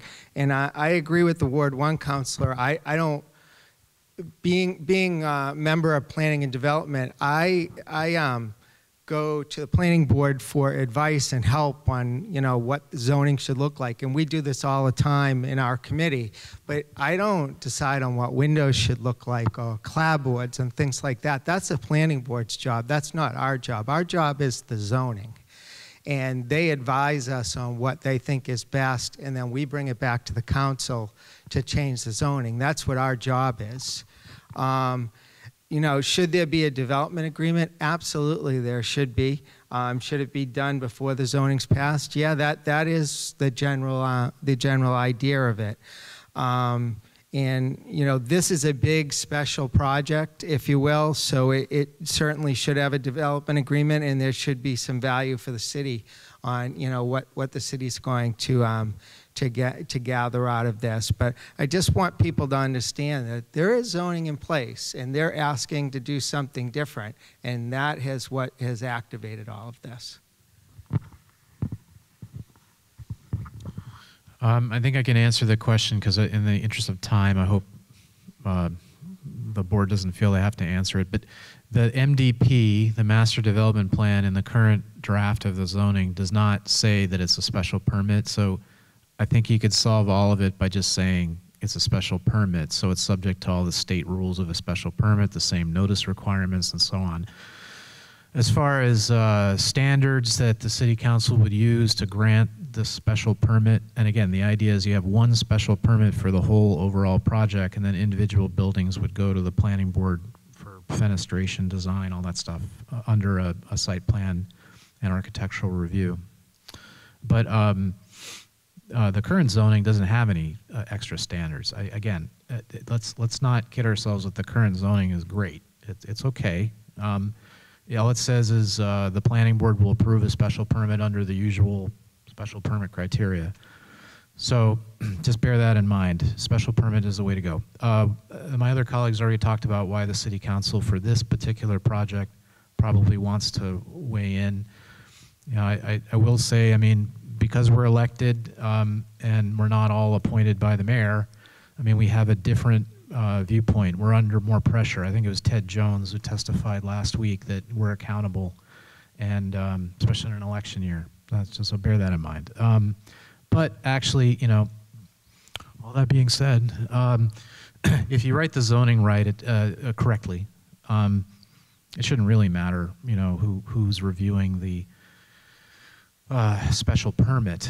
Um, so, you know, and that's where we started this evening, which is doesn't look like, at least for some councilors, we're close on, a, on an ordinance. Um, a couple more things. Uh, on the development agreement, yeah, of, course they're done concurrently. Mean, that's the whole idea is it's a quid pro quo where um, you, you're, you're figuring out, well, what kind of zoning are you going to allow? And then what's the master development plan? It's all done together. I mean, when I've done these before, on the developer side, all three are approved at the same time. The uh, any zoning change, any development plan, special permit, and the development agreement. Because the quid pro quo is the developer wants to know that it has a vested right for a period of years to build what was just approved, so that things don't get changed on them. But the city needs to know that they're going to get the public benefits that were promised. As far as it, uh, how do we get there? I, I think what Councillor uh, Connell was getting at is we have not gone in a closed session yet in the City Council on our negotiating strategy. The actual form of the agreement is not that interesting. It, you know, there's remedies in there in case the developer defaults or we default, but you know, I, I wouldn't want to. I mean, again, we may never get there, but I wouldn't want to do openly here and say, well, this is how we're going to negotiate with with uh, NED, and if they say that, let's go to this It's not usually what you do in open session, that's all. Um, uh, As far as phasing, um, I think the phasing goes in both, the um, uh, special permit, the the master special permit, I'm going to call it, and, uh, and the development agreement. You have to bind them, and those are material terms for the city council, last I knew, and not least because of what Councilor Tontar was saying, which was the hotel. Um, you know, uh, oh, way back when um, Councilor Devlin talked about tipping point. Yeah, I mean, again, we, we can't do that in open session. We have to meet privately with our advisor on, you know, what do we think the negotiating point is with NED. Um, uh, major and minor modifications. Um, yeah, I mean, you have to have a mechanism when you have a, an overall projects always change, always. And the longer that the development agreement is, you know, say it's a 10 year agreement and the project's phased out over that period, and the larger the area, the more likely it's going to be that there are modifications. So it's really just a question of where do you draw the line. Um, the rule of thumb in Boston is a 10% variation. We don't have to use their rule of thumb. We can use any rule of thumb we want, but you can't have nothing. That's not wise because then everyone has to go back and do this all over again. So you got to have something.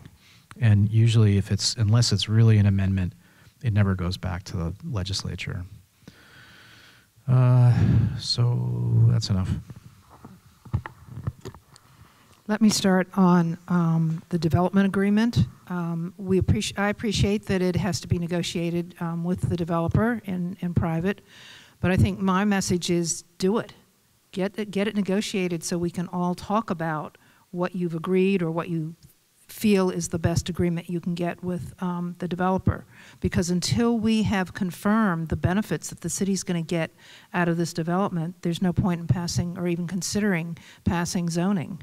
Um, I don't think we should adopt zoning if we're not clear what it is we're going to get from the developer for all the reasons that have already been described as a complex, um, central, um, huge development for the city.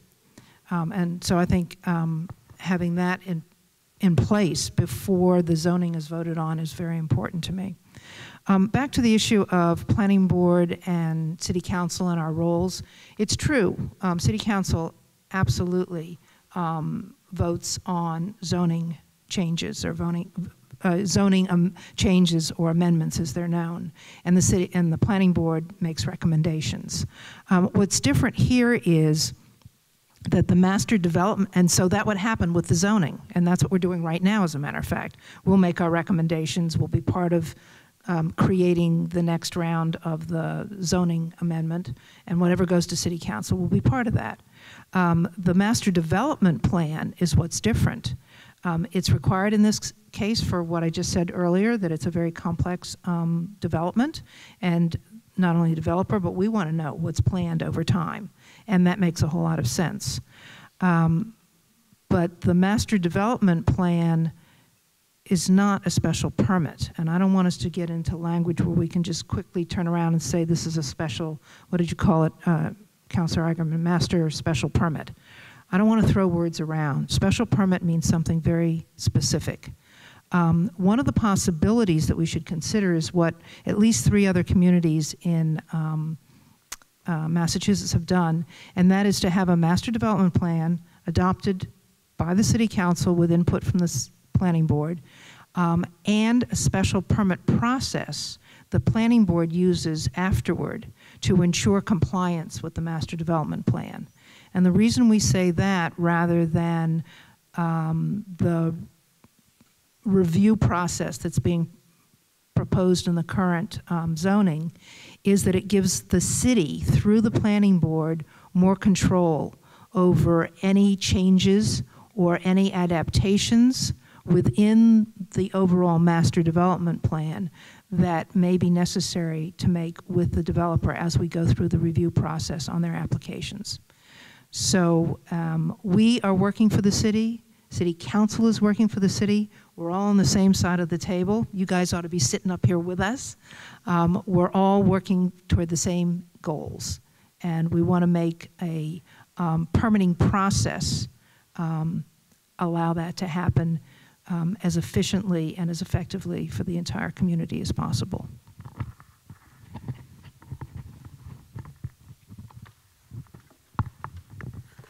Um, I guess my, my, my comments are really regarding the, um, how we affect the zoning as a planning board. And um, I feel strongly that we are involved in the process um, because it will come back to us through the special permit, I believe, is the case. Um, and my concerns are really about um, having a process where we are um, reviewing the minutia that we do review, which is similar to what was passed in the 40R, so that we're talking about facades, building materials, building heights, et cetera. And um, I'd like to make sure that we, as a board, are part of that um, and have an effect on the zoning. And that's really all I have to say about that. I do agree that um, the public and planning board and city council need to see the three documents simultaneously. The um, master development plan. And I wonder if somebody can clarify. Uh, I read a master development plan submitted by NED. And was that document their intent to meet the zoning um, provisions for that application? It's still a question I don't have answered. Um, If the answer is yes, I would say that application is woefully inadequate for uh, a permitting process, and that um, what this project definitely needs is the kind of oversight of a special permit. I uh, have great respect for our city councilors. They are elected officials. This is a very, very important project, and it's why they are the authors and approvers of the zoning. But beyond that, I don't know if there is A, time, or B, the expertise to undertake uh, the permit granting that will be required for this project. Um, in terms of public benefit, we're, we're all waiting to see what's in the goodie bag from the development agreement. Um, but I would not want to sacrifice the gem of our waterfront for what might be some short term benefits. This is a very serious project for the entire community for, for all time. Uh, relative to phasing, uh, I think the hotel, which is one thing that the public uh, really talked about a lot last week, and which I personally believe our community needs, should be required in either phase one or no later than phase two of the plans. And that should be nailed down in both the zoning and the development agreement. Um, I guess those are my comments. Thanks. Okay, first, um, the development agreement. I, it's really essential that the development agreement be executed by the landowner and approved by the city council before the vote on the zoning ordinance, uh, just so that's nailed down. It does, it's not really related to the master development plan, it's really related to the zoning change. And so that's, it's important that the, that it be locked in so that the only thing to do after the zoning is to execute it uh, on behalf of the city, which I probably believe the, the mayor would do. Um, we have to be very careful about what we, what we ask for in a development agreement. The more we ask for, the bigger the project has to be to pay for it. So it's really, you really can't draft a development agreement unless you know what the scale that you want in the zoning is. Uh, They, they really have to be worked on together. So in some sense, while the development agreement is being negotiated right now, that's fine. But uh, when we come back and decide what the scale of development that's allowed through the zoning is, uh, the city council may very well have to go back and, and revisit the development agreement and, and perhaps scale back their asks. Um, the development agreement really has to address, I, I, for me, the primary thing that the development agreement would have to address, aside from the um, the uh, procedures and, and phasing and so forth, is off-site traffic conditions. Uh, that's that could be a condition where there's a public benefit that be, goes beyond mitigation of the direct impacts of the development. We've got problem, uh, problem intersections downtown, particularly at Route 1, and that really has to be fixed. We can't add traffic to it without, without fixing it. Um, the, the master development plan, the, you know, I, th I think before I came into this meeting, I thought I knew what the process was, and, and now I'm more confused. When I read the ordinance, the proposed ordinance, it says that the master development plan can't be submitted until uh, approval of the zoning. It can be submitted simultaneously with or su- subsequent to the adoption of the zoning. So the way the ordinance is written now, you actually can't adopt the master development plan at the same time as you adopt the zoning. It also says that the master development plan is going to be adopted in the same process as adopting a change in zoning, which means the city council has to refer to the planning board. The planning board holds public hearings, and not until after the planning board's hearings are completed can it go back to the city council for, for action. So it seems to me a much, you know, much stretched out process than, than what we've been, what I've been hearing tonight. Um, the, uh, I think that the city council, first of all, I understand the rationale that the city council should be involved because it's a very large project. But the key change that's going to be made is the adoption of the zoning. Once the city council has adopted the zoning, that has made the major change to this area, and the master development plan is really a implementation of that zoning. So if the city council wants to go through the whole process twice, that's their choice, but it, it's a, it seems it's a duplicative process for the same thing. And I, and I really um, wonder about the timeline in terms of how the city council is going to do this. Think about multiple meetings over a series of weeks, uh, and each meeting might spend an hour, an hour and a half on this project. Uh, from my experience, that's what you need to do to go through a project of this scale, and I've done that. So think about the business of the city, the normal business of the city council, and can you add that process to it? It's, it's, it's, uh, it's going to be a, a heavy lift, I think. Um, one of my questions about the master development process, the way it's written, is it's an administrative approval under zoning. Uh, it's not a special permit, as we've talked about uh, right now. So, and, and the reason for that is that uh, New England Development wants to avoid the possibility of appeal. Um, at least that's a primary reason for it. Now, my question is Is the master development plan approval a legislative action because it's designed to follow the process set forth in Chapter 48, Section 5 for adoption of zoning, or is it an administrative function? And if, if it's an administrative function, would the city council then be an administrative official so that somebody could appeal the decision to the zoning board? Uh, I mean, there's a lot of questions about the way this is written. Um, now, unlike a special permit process, there's no time limit on the amount of time that the planning board um, has to review it or approve it. Uh, unlike, the, unlike site plan review, there's no requirement that the master development plan ever be approved, regardless of whether it complies with the zoning ordinance. And it also, the ordinance, as we've said, doesn't contain any standards or criteria. Um, so there's, there's a lot of, lot of unknowns about this process, the way it's drafted. It's a very, very unusual process. Um, I've dealt with projects of this scale, and, and I haven't seen anything quite like this. Um, the, and I should say, the master development plan is not an either-or, special permit or master development plan. As, as I think has been mentioned before, uh, the master development plan can be approved by a special permit.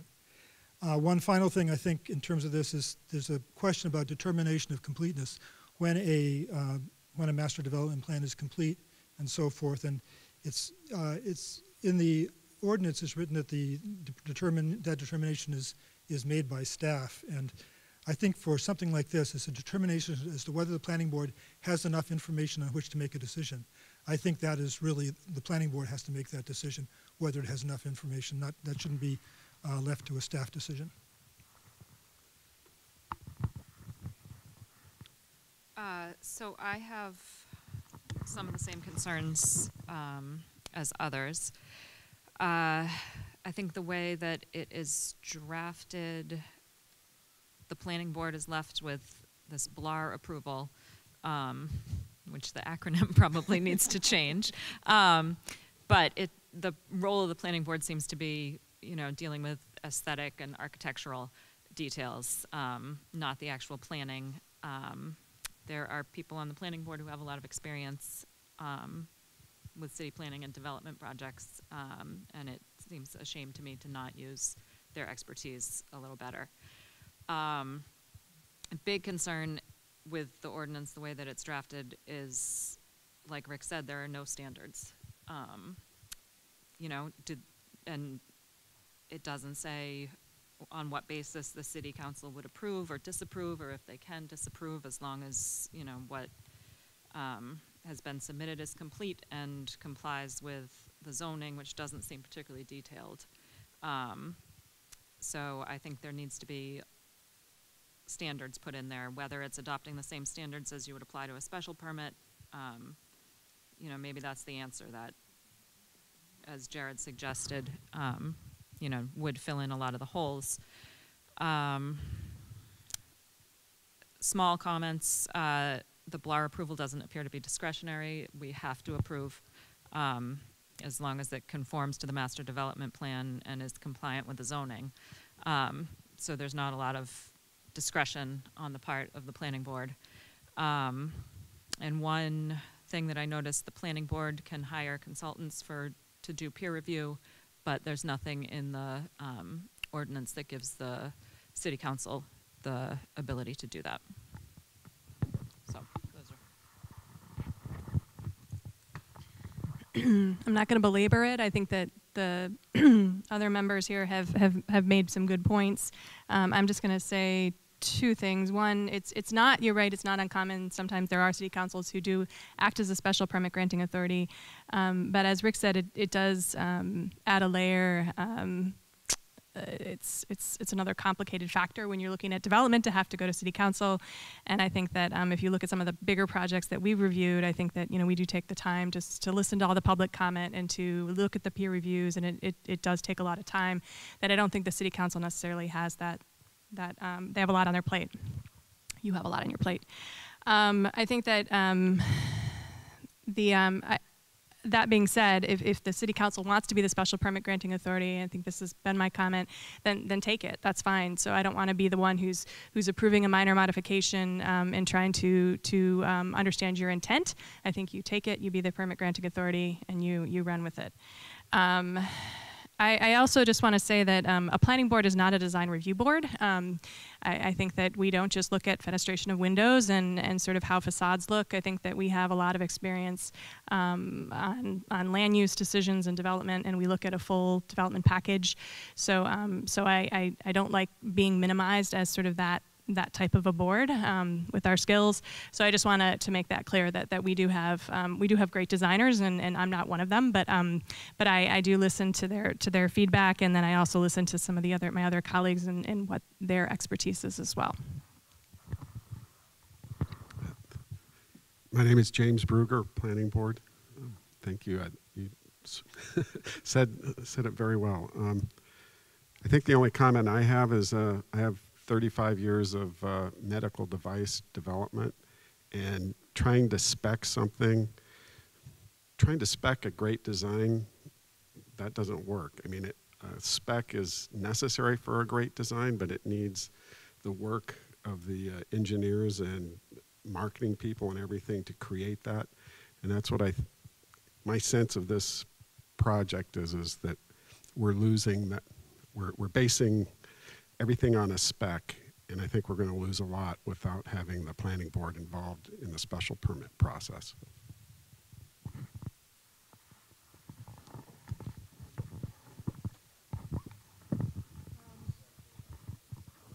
If you have something you'd really like to say, you think that's going to facilitate, because we're going to have to um, close this off,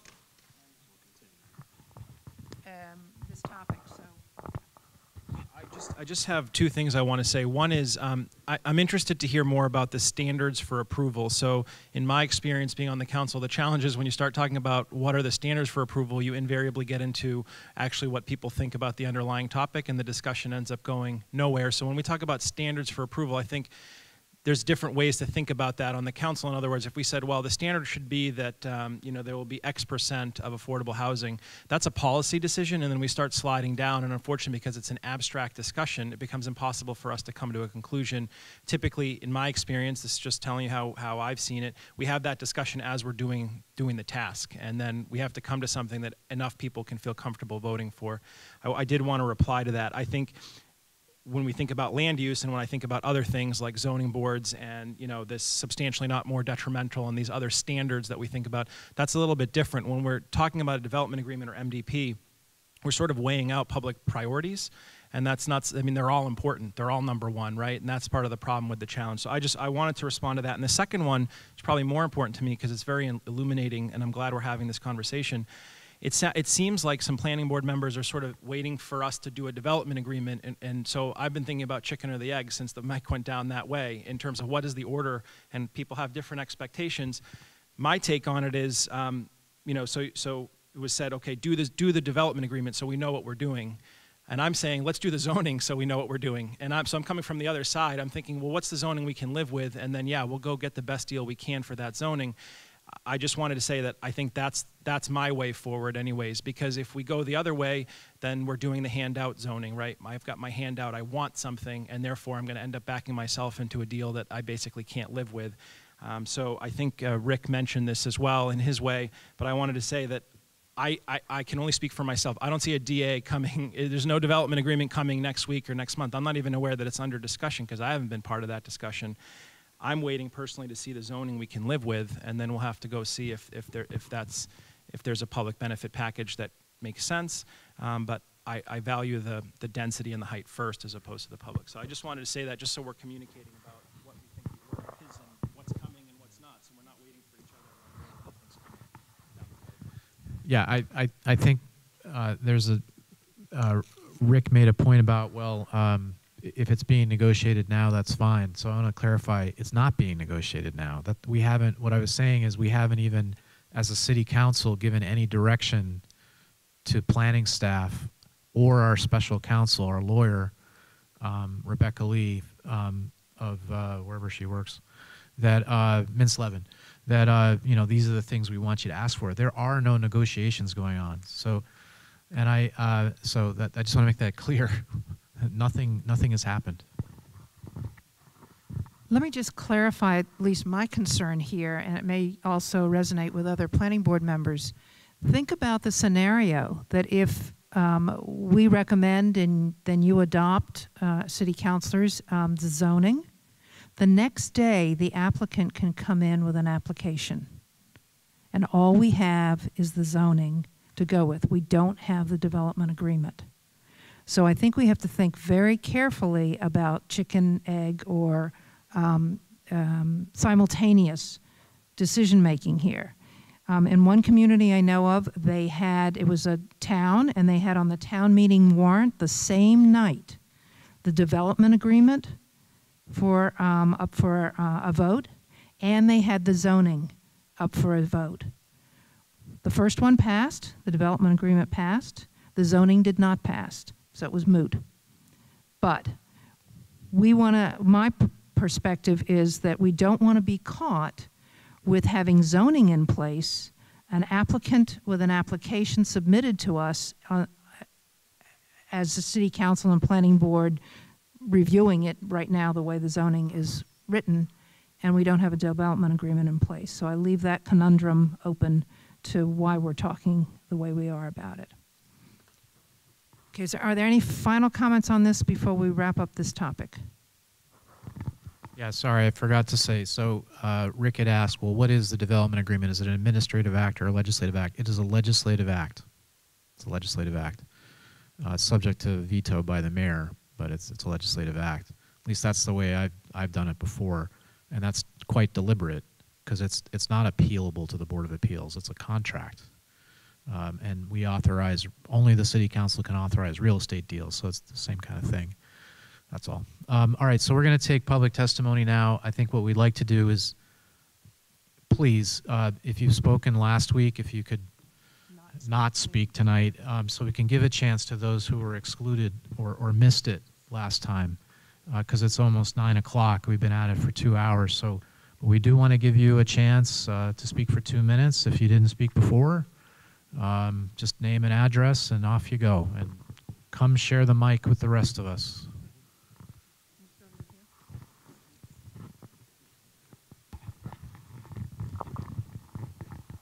Thank you very much. Uh, my name is Mark Gay, and I live on uh, 14 Shenandoah Drive in Newburyport. Can, can you hear me? Uh, Mark Gay, uh, uh, 14 Shenandoah Drive, Newburyport. Um, two points. I have here. And first of all, I just wanted to mention what Barry, Con- what Barry Connell mentioned before, the concept of we all need to change. Uh, the bottom line is, I think everybody here knows what change is, and especially the age of some of the people here, including me. It's not a question of change. It's a question of what's good change and what's bad change. Okay? So, and uh, and no, we don't have to get used to it. We've all moved here and we paid our taxes and we've, you know, uh, complied with the zoning ordinance, and we expect other people to do that. And this is a change of, of, of law specifically for one applicant, okay? So in my background that I just wanted to bring up here, 20 years ago, we had a major hotel case on the waterfront. I was the lead attorney for, for the appeal on that. And I represented Sonia Marashian, Chris Snow, and the Citizens for Open Waterfront. That hotel was going to be built 120 units on the central waterfront. We, fen- we spent five years in appeals court. The, the takeaway from that whole thing was the people of Newburyport as a community, number one, did not want a, a, a hotel on the central waterfront. They wanted it off the central waterfront. And number two, the people in Newburyport wanted it downsized. The 120 unit hotel was too big, and that was the takeaway. And I think everybody since that time has enjoyed the waterfront and all the benefits of the waterfront, of an open waterfront for this city. So fast forward to today, and we have a situation where, yes, it is no longer on the central waterfront, it's being proposed off the central waterfront, so you can check that box. And people always wanted a hotel. It was just a question of the size of the hotel. And that's, and so here we are today, where New England Development comes in, and that's right. So, so New England Development comes in and basically goes from 120 units to a 110, 100 unit hotel plus another 215, so it's 300% more, 300% bigger than what the city of Newburyport originally had. Rick Nozak. Rick was around there. And, and you can, all you have to do is read the front page of the papers for those five years. So this is a major, major density problem. Fast forward to, in terms of the, uh, sorry? Okay, well, uh, okay. And just fast forward to today, everybody has been using to the concept of the New England. But uh, you didn't tell me that in the beginning. So, so you can't do that at, at the end. Uh, you didn't. I didn't hear that. No, you didn't say that.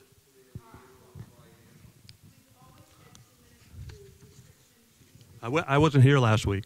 I, okay, sure. I wrap it up.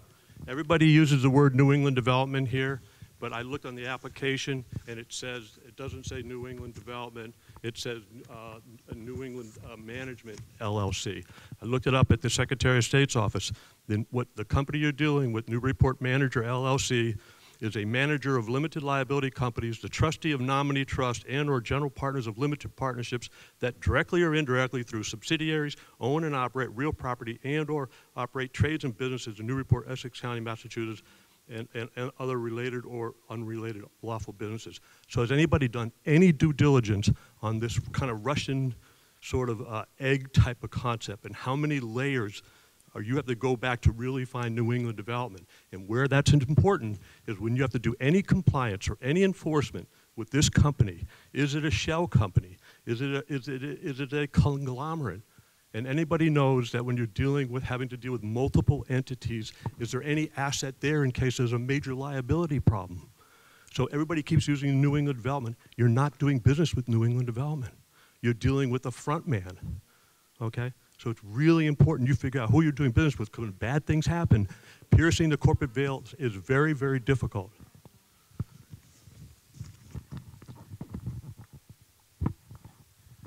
New England Development or whatever shell company they are. Uh, Al Sanchez, 18 Riley Avenue, Newburyport, in South End. Uh, they bought most of the land in 2005. At that time, they put plans in, uh, 2004, 2005, that are much smaller, lower building height, and less mass. That should be the starting point, not where we are now. Thank you. Hi, my name is Bill Bushy. I'm from uh, 62 Boardman Street in Newburyport. Um, just a couple of quick points here. Um, it seems to me that you need to make a clear recommendation about how you measure the height of the building.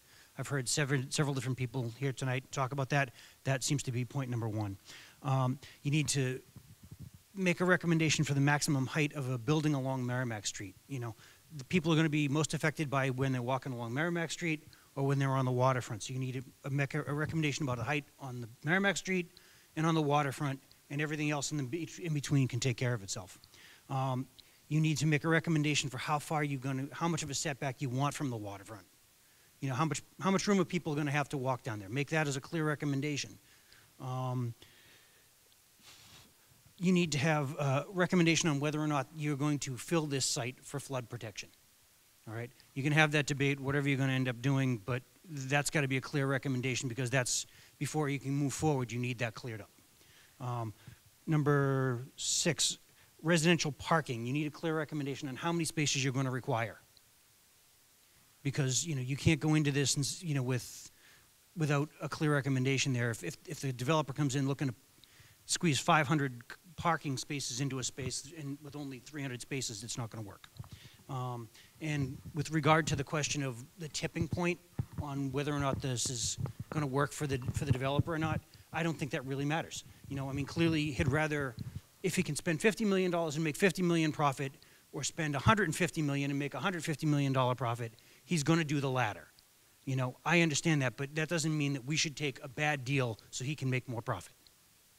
All right. So focus on what's right for the city. Don't care about what the developer is going to make, how much money the developer is going to make on this.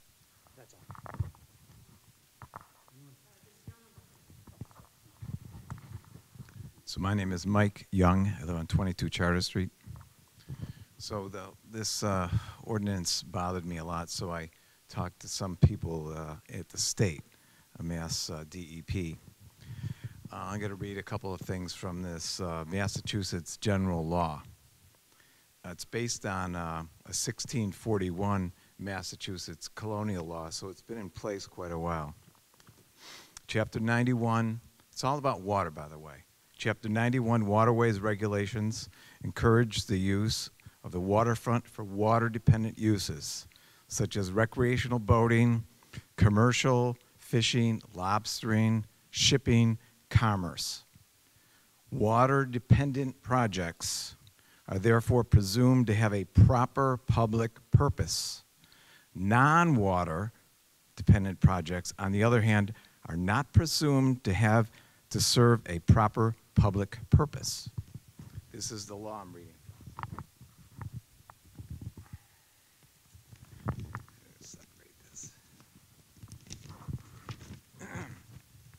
Another part. If any part of a project or use site, no matter how small, is considered non water dependent, then Mass DEP classifies the entire site as non water dependent. That's exactly what this site is. Now, you can go on their site and you can get this map. And this map shows this same thing that's up there. And I know you can't see it, but there's five separate parcels. And they go from the river to within about 10 feet of Merrimack Street. And every one of these parcels is under, will require a chapter, chapter 91 license. Michael's has a chapter 91 license, and each one of these will require a chapter 91 license.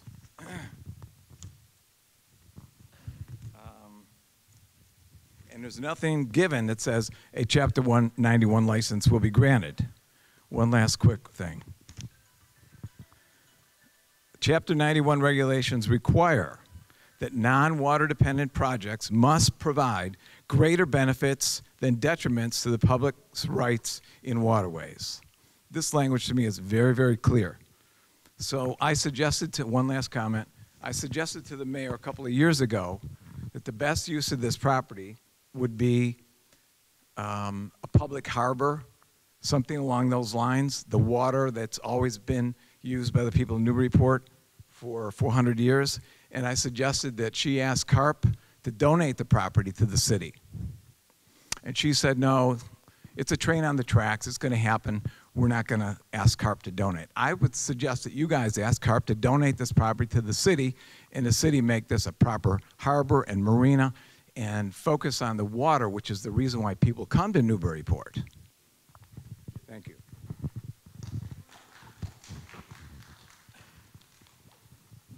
Um, hi, I'm Ken Swanton from 10 Tremont Street.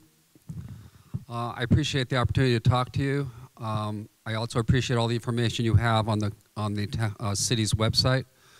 I've been through a lot of it. I was very happy to find those 3D um, drawings where you can zoom in and look at things. And when I looked at the one from the bridge, and kind of that's the one that if you zoom in, you can see this development more clearly in the very large buildings.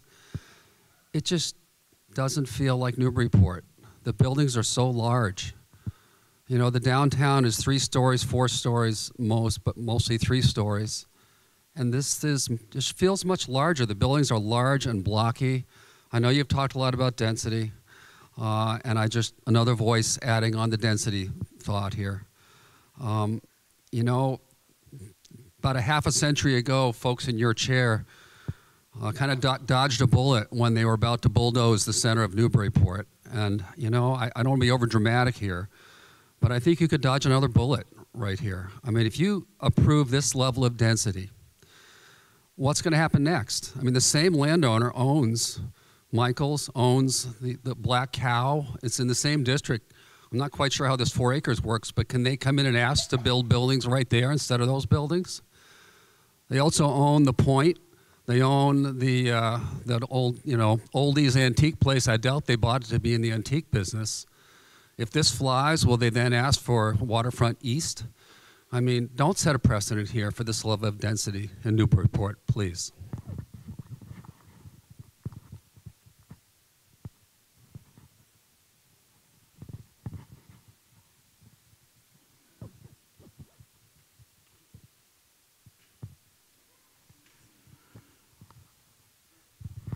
Hi, my name is Jeanette Cresawati, and I live at 22 Charter Street. And um, thank you for all of your um, your good input. It's you've answered lots of my questions tonight, and I am in. It's good to follow this gentleman because I'm sort of in his ballpark about um, this landowner and this developer who owns phenomenal amount of property in this town, and he could choose many other spaces. We have empty buildings. He has Fowle's. Fowle's is in disrepair. Infrastructure is in disrepair. Go be go do something sustainable. Beverly is building a microtel in the old apartment building next to the Cabot Theater. They're choosing to use buildings that are in already in existence and it's fabulous. The Salem, the town of Salem has done the same thing. The Merchant, the Salem Hotel, they're all buildings that are existing that Mr. Karp owns. So let him be a responsible landowner and use the property that he already owns versus taking up the last vestige of open waterfront that we have in this town. He has many choices. Plus, he's also left so many of his properties in disrepair. Our town is looking is shabby. It, no, we have friends in Portsmouth who come here and say your buildings are empty. It's apparent, and he is a major contributor and controller in this town, and he can change things in our town by using the existing property and make it be something sustainable than an empty old building in disrepair. Thank you.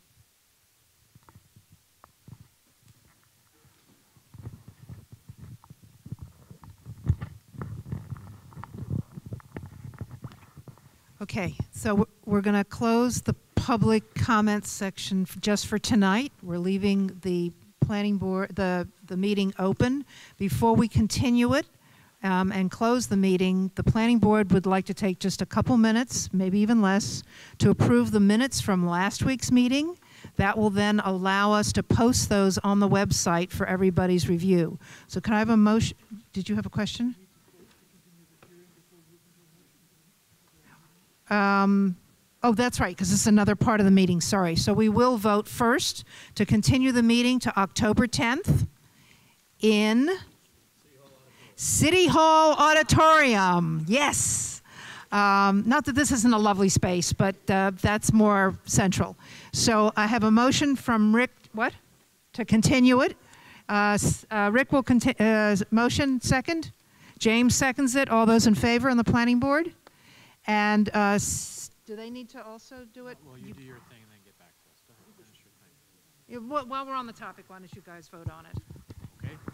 I'll entertain a motion to continue to October 10th. Uh, Motion to continue to October 10th. It's uh, motion second. All those in favor? Aye. Aye.